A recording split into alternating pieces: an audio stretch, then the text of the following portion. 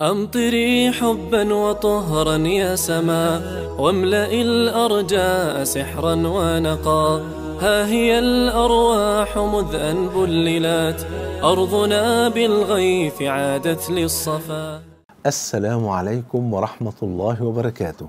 بسم الله والحمد لله والصلاة والسلام على حبيبنا وأسوتنا وقدوتنا وشفاعنا رسول الله صلى الله عليه وآله وسلم ابنتي الغالية. أبشري بكل هذا الخير في سجدة واحدة. نعرف بعد ما نصلى على حبيبنا صلى الله عليه وآله وسلم. في الحديث الذي رواه أحمد وابن ماجه بسند صحيح. أن النبي صلى الله عليه وسلم قال ما من عبد يسجد لله سجدة إلا كتب الله له بها حسنة وحط عنه بها سيئة ورفع له بها درجة فاستكثروا من السجود. يعني كل سجدة حضرتك بتسجديها ربنا سبحانه وتعالى بيكتب لك بيها حسنة ويحط عنك سيئة ويرفعك بها في الجنة درجة.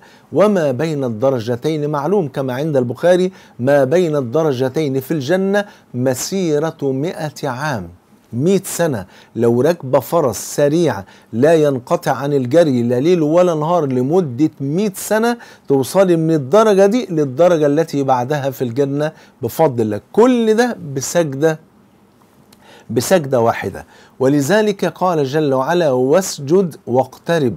فلا بد أن نكثر من السجود. والسجود يكون فين؟ في الصلاة. يعني نكثر من صلاة النوافل ونكتر من الركعات بدل ما نطول في القراءة. لا نكتر من عدد الركعات حتى يكتب لنا عدد سجدات كثيرة فنرفع بها درجات في الجنة ونأخذ بها حسنات وتغفر لنا سيئات. ولذلك جاء في الحديث الذي رواه مسلم عن ربيعة ابن مالك. ربيعة ابن مالك شاب عنده 17 سنة من أهل الصفة فقير جدا لا عنده عيلة ولا بيت ولا زوجة ولا أولاد ولا أي حاجة ولا مصدر شغل حتى فكان من أهل الصفة الفقراء.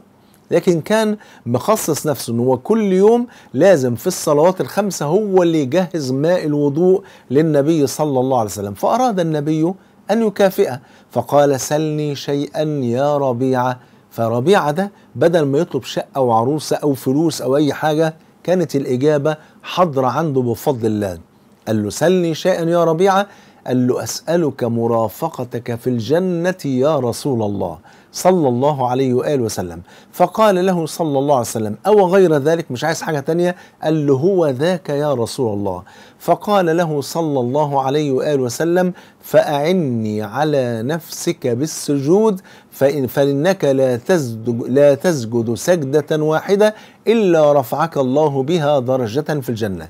يبقى فعني على نفسك بكثرة السجود لله فإنك لا تسجد سجدة إلا رفعك الله بها درجة في الجنة. كل الخير ده كله في كل سجدة. ياخدي حسنة يتحط عنك سيئة تمام؟ ترفعي درجة في الجنة. أسأل الله عز وجل أن يجمعني وإياكم مع سيد ولد آدم صلى الله عليه وسلم في الفردوس الأعلى. بحبكم في الله والسلام عليكم ورحمة الله وبركاته. أمطري حبا وطهرا يا سما واملئ الأرجاء سحرا ونقا. ها هي الأرواح مذ أن بللت أرضنا بالغيث عادت للصفا.